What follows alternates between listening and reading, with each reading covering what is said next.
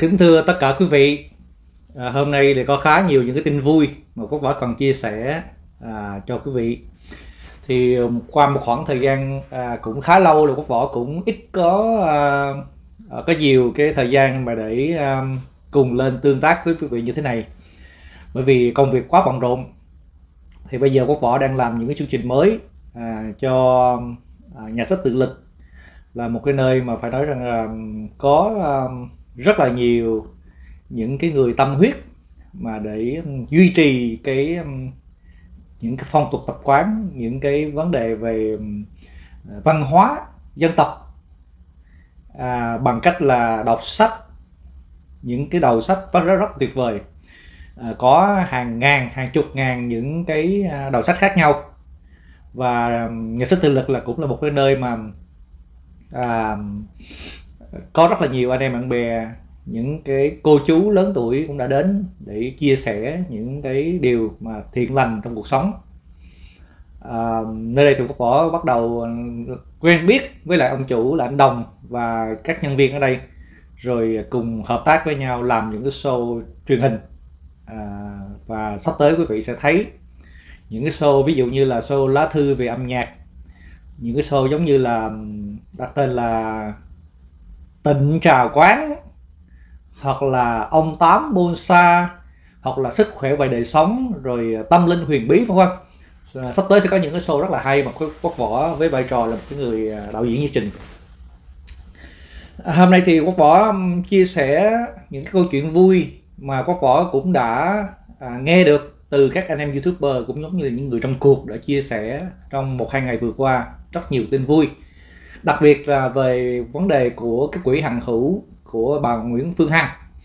Thì thưa các bạn à, sáng hôm nay quốc võ cũng có được những tin báo mới nhất à, nói rằng là quỹ hằng hữu đã mở lại. Cho dù là bị đánh phá như thế nào đi chăng nữa thì à, ông bà Dũng Hằng cũng đã kiên quyết là duy trì cái quỹ hằng hữu này để à, mổ tim mổ não uống thủy và làm tất cả những cái việc thiện nguyện để giúp đỡ cho người dân nghèo giúp đỡ cho xã hội à, tại Việt Nam. Đó là một cái điều phải nói rằng là quốc võ rất là à, à, tức là rất là à, mình đặt tất cả những cái niềm tin tất cả những cái hy vọng à, vào những cái chuyện à, tốt tốt này. Và mong muốn rằng là sẽ duy trì cái vấn đề này nếu như mà càng nhiều người à, càng nhúng tay vào càng nhiều người càng tham gia vào công việc thiện nguyện á, để giúp đỡ cho người dân á, à, thì quá tốt xã hội càng ngày càng phát triển. Thì à, mình phải động viên mình phải cổ vũ tinh thần và khích lệ tinh thần cho những người mà đã à, đứng ra xả thân vì à, người nghèo như thế. Thì đó là một điều thật rất là tuyệt vời mà quốc quả nghe qua à, dĩ nhiên mình trong một thời gian suốt vừa qua là trong khoảng một năm bắt đầu từ cái tháng tháng tháng à, tháng 3 năm ngoái đến tháng 3 năm nay thì khi mà bà Nguyễn Phương Hằng đã đứng lên để vạch trần những cái điều sai trái đặc biệt là về phía ông Võ Hoàng Yên là một lan băm mà chữa bệnh à, à, bằng cái cách mà mà mà kéo lưỡi hoặc là vỗ tay mà để có thể là làm cho là những người mà mà bệnh nhân bị câm điếc bẩm sinh mà nói được mà nghe được á thì cái chuyện đó là cái chuyện phải nói rằng là nó gọi là impossible là không thể nào xảy ra được uh, trong cuộc sống hiện tại đây. Và cái thời đại này là thời đại là cái như là rất là phát triển về khoa học kỹ thuật về y tế mà các bác sĩ bó tay các bệnh viện lớn trên toàn thế giới bó tay. Mà ở đây Việt Nam lại có một ông thần y mà ông làm được chuyện đó thì quả thật là à, không thể nào mà chúng ta có thể là tin được đúng không ạ? Vậy mà vẫn có rất là nhiều người tin tưởng.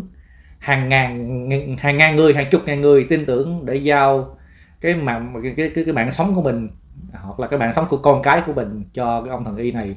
Đến để đến lúc này thì mới là thấy rõ được cái cái sự thật. Cũng nhờ đó mà chúng ta cũng thấy rằng là trong thời gian vừa qua một năm nay thì đâu có cái nạn mà thần y hoặc là thần thánh gì đâu phải không ạ? Vì vậy cho nên á trong suốt một thời gian đó những cái sự tranh đấu những cái điều mà các đã hai bên đã đấu phá nhau kịch liệt gây ra những cái điều mà nó rất là tai hại cho cuộc sống. Những cái điều mà phải nói rằng là uh, những cái drama này càng ngày nó càng càng, càng càng càng càng nóng và nó làm cho là dư luận xã hội rất là quan tâm về vấn đề này. Đó. Thì um, lúc mà bà bà Nguyễn Phương Hằng đưa ra cái vụ việc ra ánh sáng đó, thì rất là nhiều bên à, công kích và tấn công từ từ mọi phía làm cho cái tinh thần cảm thấy rằng là à, khó khăn để mà đương đầu. Nếu mà cứ duy trì tại vì cái quỹ hàng hữu là cái quỹ mà đã lập ra từ rất là lâu và giúp đỡ cho biết bao nhiêu là cái hoàn cảnh khó khăn rồi. Nhưng mà những thế lực kia họ nhảy vào họ chống phá họ làm cho cái như là cái tâm tư cái tình cảm cái nguyện vọng bị ờ, lung lay. Cho nên có một thời gian khoảng mấy tháng á, thì hoàng nguyễn phương hằng đã ngưng không có tiếp tục hoạt động của quỹ từ từ thiện hàng hữu nữa. Đó là một cái điều phải nói rằng là rất là, là đau xót và và nó ờ, giống như là bà Hằng Hoàng cũng nói là đã, đã giống như là xé nát trái tim mình vậy đó. Tại vì đây là một cái tâm tư cái tâm huyết mà mà mà đã đã gây công xây dựng từ bao nhiêu năm mà bây giờ đã phải, phải chính bản thân mình phải dẹp bỏ đi đó thì giống như là ngàn mũi dao đâm vào tim vậy đó. Nhưng mà bây giờ thì ờ, bà cũng cứng rắn mạnh dạng và được ủng hộ của chồng mình để tiếp tục mở lại cái quỹ hàng hữu này. Thì đó là một điều rất là tuyệt vời và hàng trăm hàng ngàn những trái tim khác sẽ được cứu sống à, sẽ được à, làm cho mạnh khỏe lại và biết đâu đó những mầm non của của um, thế hệ mai mà mai sau này sẽ tiếp tục là là duy trì. Và biết đâu đó có có, có những cái nhiều người mà họ thành công à, họ làm vẽ vang nước nhà cũng không chừng mình đâu biết được phải không ạ? Vì vậy là đó là điều rất là tuyệt vời. Rồi um, thật sự bà mà mà nói là các um, những cái cái cái bậc cha mẹ mà khó khăn đó tại Việt Nam đó mà nếu như mà có một đứa con mình mà bị bị bệnh đau bị uh, bệnh tim phải mổ hoặc là bị não uống thủy vân là họ đau xót vô cùng. Và họ nếu như mà có một một một cái ông tiên ông bụt nào đó bà tiên ông bụt nào đó từ trên trời mà coi như là ban xuống một cái phép bầu mà để cho họ có tiền để chữa bệnh mà chữa bệnh để hết bệnh cho con cái mình á, thì cái, ờ, cái cái sự mà mang ơn nó nó lớn vô cùng các bạn. Vì vậy cho nên là trong câu chuyện này chúng ta cảm thấy chúng ta rất phấn khởi, phấn chấn khi mà có một cái người giàu có, một cái người mà tỷ phú. Họ có một cái tấm lòng thiện nguyện như vậy, đưa hết luôn cả tất cả những cái lợi nhuận của công ty Đại Nam vào trong một cái quỹ hàng hữu, vào trong một cái quỹ để coi như là làm những cái việc mà thiện lành trong xã hội. Giống như là xây trường học, xây đường à, đường cứ như là đường xá, xây cầu cống xây nhà tình thương ha?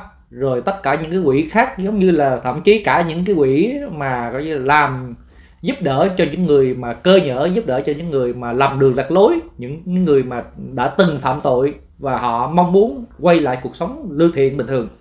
Thì cũng có những cái quỹ đó nữa. À, như vậy thì à, nó quá tuyệt vời à, mong rằng là có thêm rất là nhà nhiều nhà à, tài trợ nhiều cái nhà mà giàu có nhiều cái người mà kinh doanh cũng có cái tấm lòng giống như là ông bầu Nguyễn Phương Hằng.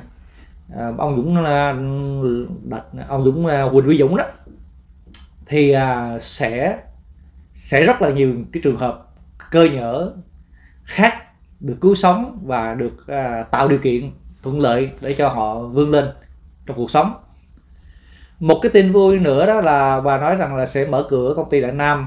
À, Quốc phòng cũng đang lo lắng sắp tới là cũng định về Việt Nam để có những cái dự án à, về làm việc. Nhưng mà dịch bệnh nó đang tăng tăng nhanh. Thì à, theo những cái lời tuyên bố của một Vĩ Phương Hằng đó thì có thể là ngày 18 tháng 3 này á, là sẽ mở cửa lại công ty Đại Đại Nam. Mà không biết là dịch bệnh nó có bớt không? À, như thế nào? Nhưng mà nếu như mà mở lại cục tiền Đại Nam á, thì sẽ rất là tuyệt vời. Bởi vì sao?